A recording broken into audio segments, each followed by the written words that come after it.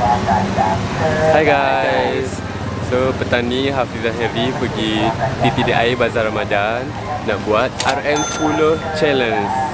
So caranya Henry kena gunakan RM10 ni untuk beli main dish, side dish dan drink. Dah Minum je 4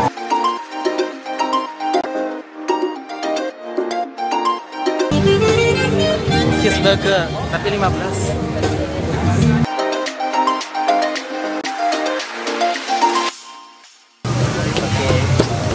Saya beli ayam goreng ringgit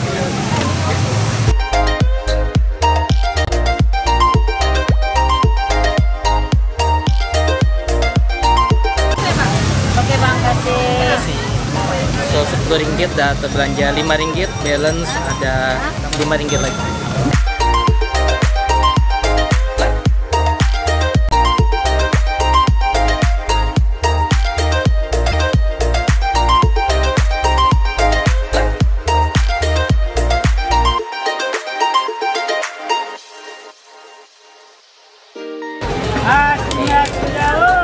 piring tradisi katanya paling enak. So tinggal 2 ringgit. Jadi Henry beli minumnya jus nanas. Kilo dua ringgit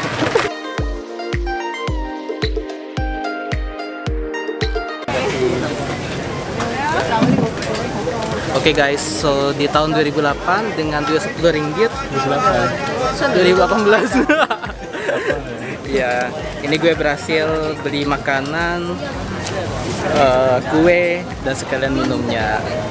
Oke, sekarang eh, 10 ringgit challenge untuk Hafiz. Kita akan kasih dia.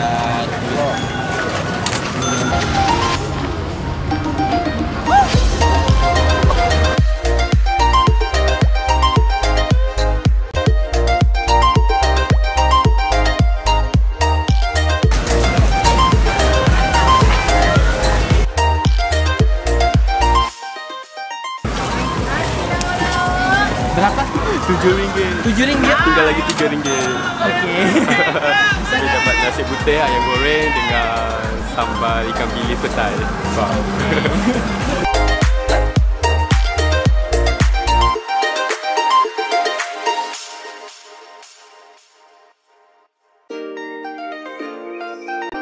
ada drink and main dish Tinggal lagi satu ringgit Nak beli apa?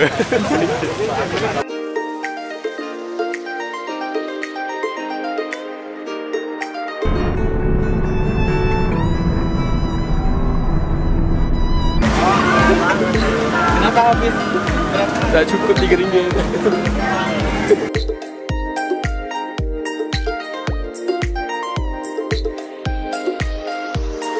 Kerupuk kira main uh, side dish tak?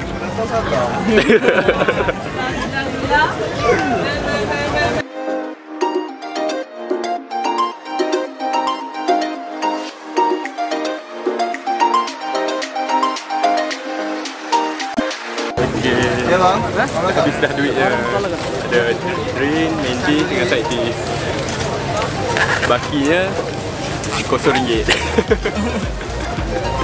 Oke, so guys, so kita berhasil lakukan 10 ringgit challenge. Oke, kenapa kita buat 10 ringgit challenge ini?